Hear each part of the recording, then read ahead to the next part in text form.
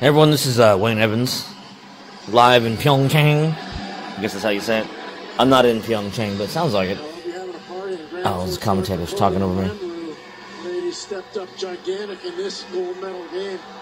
The U.S. hockey team, the women's, the women's, the women's, the women's, they just won gold uh, for the U.S. in uh, Olympic women's hockey. Very exciting. They they just won in a shootout, three to two in a shootout.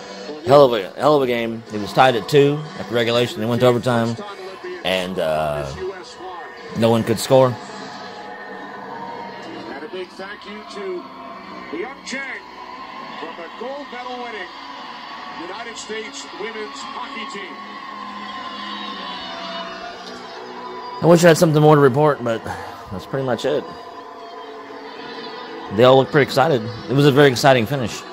I'd like to thank NBC Sports Network for letting me know that this was going on. I wouldn't even seen this hell of a game, and then the shootout was tremendous. And then her teammate, Maddie Rooney, comes up with the save of her life on Meghan Agosta. The U.S. celebrates. The medal ceremony from Pyeongchang is next.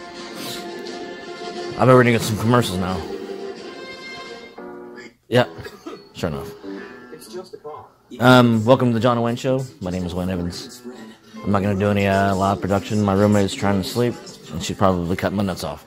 So, like I said, the uh, the U.S. hockey team, the women's hockey team, won the gold medal just now. Very exciting. And if you missed it, you can watch that shit online. on probably probably if you have the internet. So, anyways, um, other than that, there's fucking snow on the ground, which sucks.